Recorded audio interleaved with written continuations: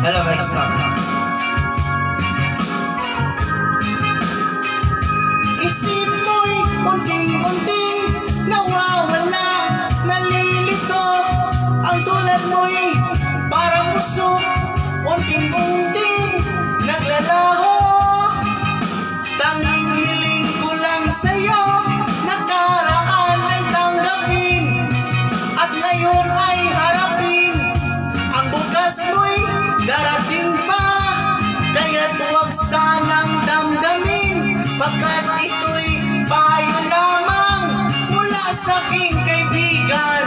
na sa iyo'y nagmamahal.